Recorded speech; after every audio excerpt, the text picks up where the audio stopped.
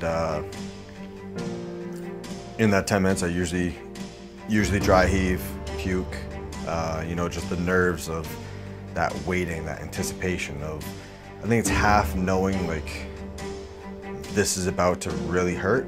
Um, like I'm gonna, I'm about to push myself to a level that's not enjoyable. Um, but then also like the fear.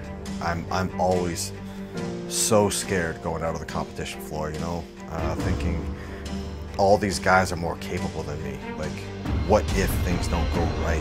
Uh, just being really scared, you know. All these guys have trained all year to win. No one's showing up trying to win second place. Everyone's there to try to get first place.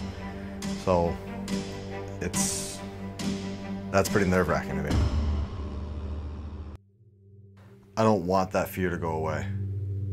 Um, I mean, like, I hate it. It's a very unenjoyable feeling, but at the same time, it's like when I'm scared that I'm not capable in a workout, you know, I really focus. You know, I really,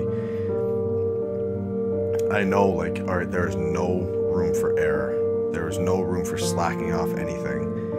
So, anytime, anytime I have that fear, you know, I'm I'm willing to go to a darker place to make up for that, for that being uncomfortable or not feeling confident in that movement. Um, perfect example. I mean, regionals Nate.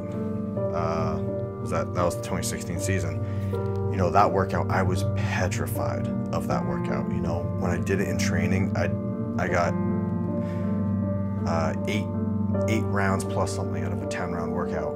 I wasn't even close to finishing it, and. Uh, you know, you see all the videos of guys online, you know, pumping out sets of 10 strict muscle ups with a weight vest, and it's like, uh oh, I'm in trouble. Like, this workout could derail me. So I'm going into that workout just like absolutely petrified. And then, and then I ended up doing well. You know, I ended up, uh, I think I won the workout in my region. You know, it was like, I didn't let my mind wander for a second. I didn't care how much anything hurt during that workout. I was like, no, it doesn't it doesn't matter. You can't afford to slack off even for a second. So it's like just keep pounding. And then there was other workouts where I was so comfortable so lax going into it. As soon as something started to hurt a little bit, I was like, oh, I'll just back off a little bit, you know, let this pain go away. And then I pull a 10th place in the workout and it's like, what the hell? That wasn't supposed to happen. Um, so it's part of it is like I don't want to get rid of that fear. You know, it really pushes me to strive for excellence. And then on the other end of things, like when I am feeling comfortable, like not letting that affect my performance, not letting that that comfort creep in and you know make me slack off.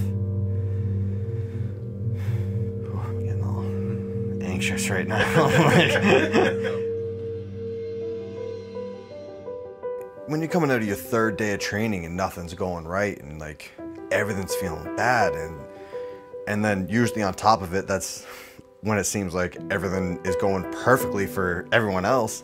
So it's like you just sit there you're like oh man like what's happening right now? Like this is this is my job. This is my full-time job and i'm not doing well at it. Like this isn't good. Um, but you know it's those moments that you know you have to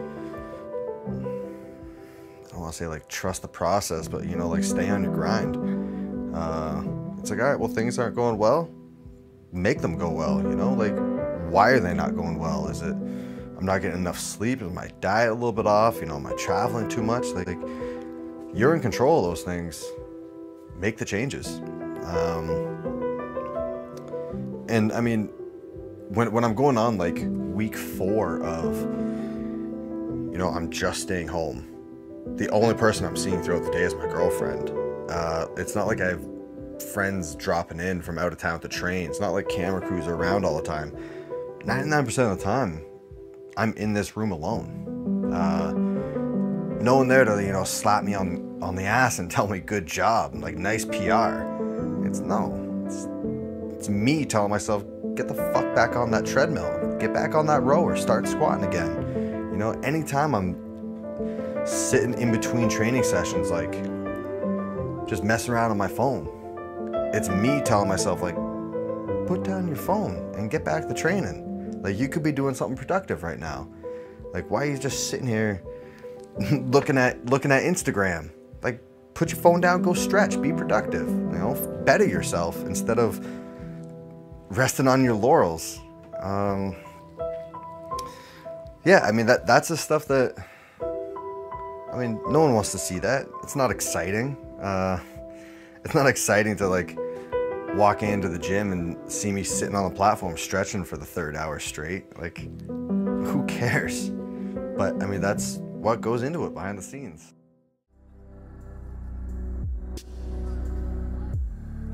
You know, I, think I think before it happened, I never really thought too much of what it would be like or what it should be like, anything like that.